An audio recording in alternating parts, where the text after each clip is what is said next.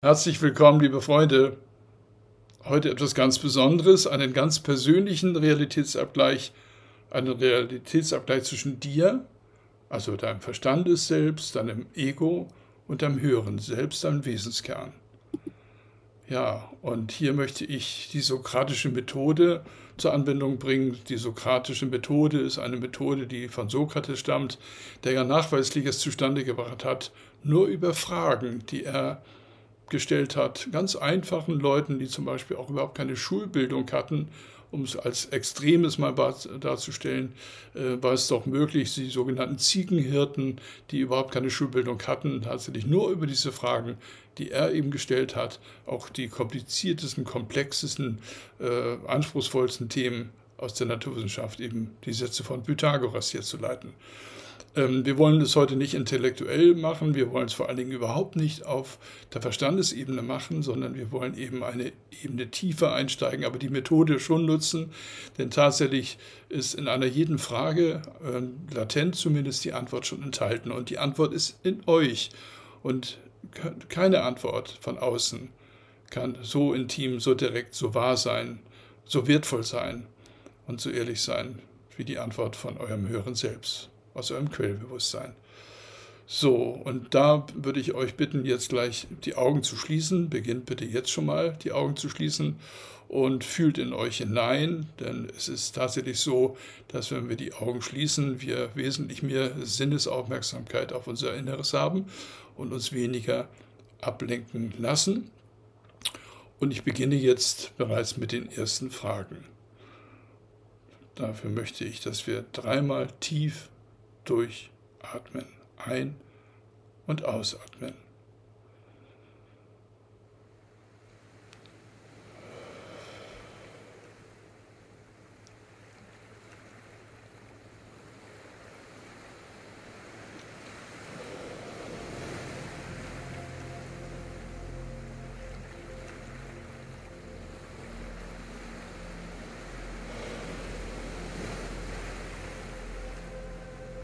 Weißt du eigentlich, wonach du wirklich suchst?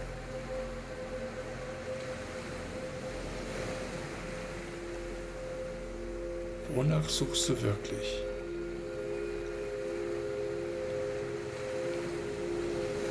Wonach suchst du wirklich?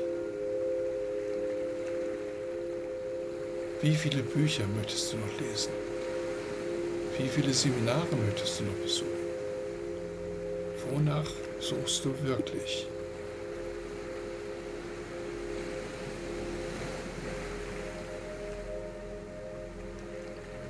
Könnte es nicht sein, dass du bereits das gesuchte Wissen in dir trägst? Könnte es nicht sein, dass du bereits das gesuchte Wissen in dir trägst?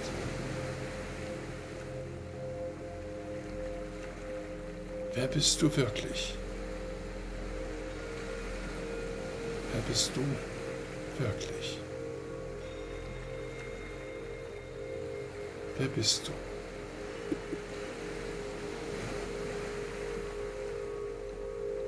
Bist du nur durch einen Zufall inkarniert? Bist du nur durch einen Zufall inkarniert?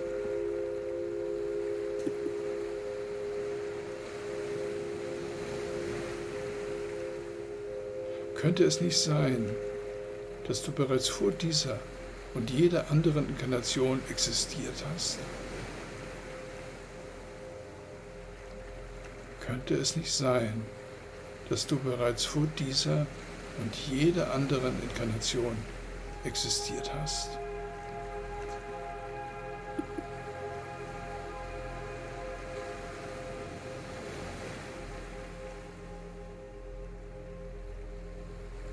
Kannst du dich als eine Art Wesenskern, als eine Essenz wahrnehmen?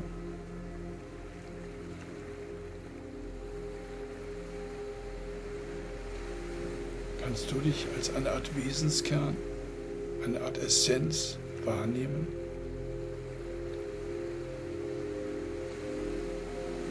Eine Plasmakugel, golden, Spürt hinein. Spürt hinein. Fühlt hinein.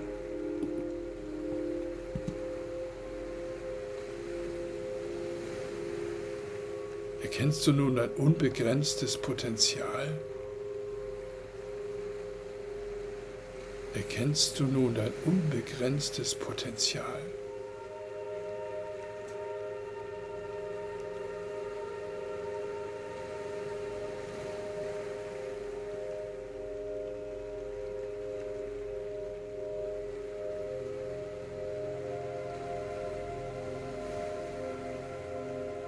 Beruhige so oft wie möglich deinen Verstand, indem du ihn dankend für seine Ratschläge in die zweite Reihe stellst.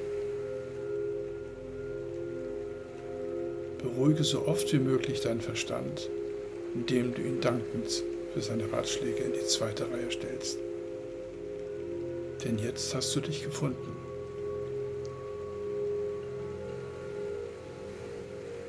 Was fühlst du dabei?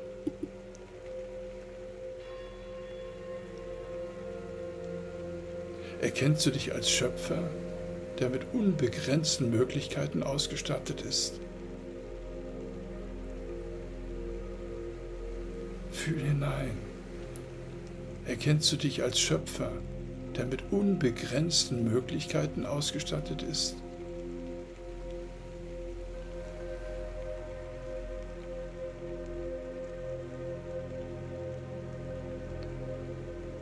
Was wirst du nun als erstes manifestieren, erschaffen, wenn du gleich deine Augen öffnest?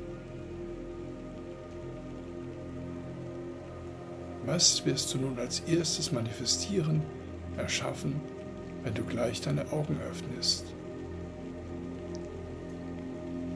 Erkenne, dass alles, was du aus dem Zustand der Freude, der Liebe in Aktion manifestierst, ein Gottesdienst ist. Für dich, für alles, was ist. Denn es gibt keine Trennung zwischen innen und außen, oben und unten.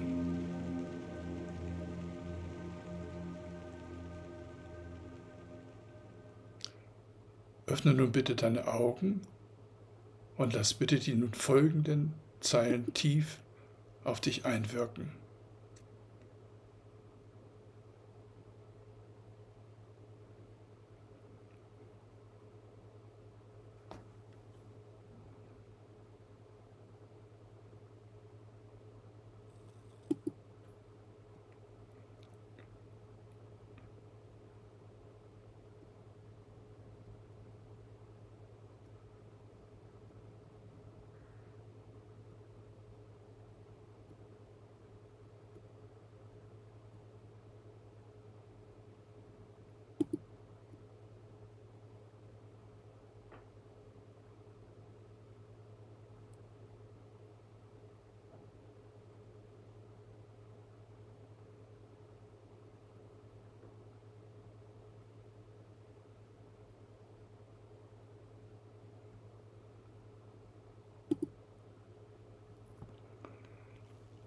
Liebe Freunde, wie fühlt ihr euch jetzt? Könnt ihr einen kleinen Abgleich vornehmen auf der Wahrnehmungsebene vorher, hinterher? Was ist bei euch passiert? Ich kann euch versichern, wenn ihr mit einer Ernsthaftigkeit, je ernsthafter diese Haltung von euch ist, umso stärker wird auch die Nachhaltigkeit sich ausgeprägt haben. Es wird etwas angetriggert haben, was in den nächsten Tagen weiterwirkt. Wiederholt diese Fragen so oft wie möglich. Erkennt, wer ihr wirklich seid. Und ich kann euch versichern, dass die sogenannte orchestrierte Ordnung, wie ich sie immer nenne, die Dinge, die quasi von außen, quasi aus dem Kosmos, auch von Mutter Erde auf uns einwirken, all diese Prozesse unterstützen. Diese Seelenerfahrung, die wir machen, die Seelenevolution, die wir gerade durchmachen, zum Erwachen für den nächsten Evolutionsschritt.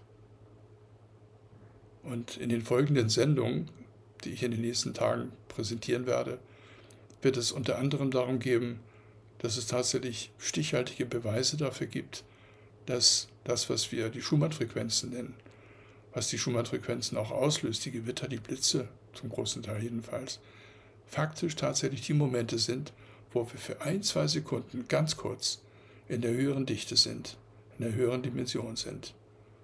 Und was das genau bedeutet, darauf freue ich mich. Das wollen wir gemeinsam erschließen.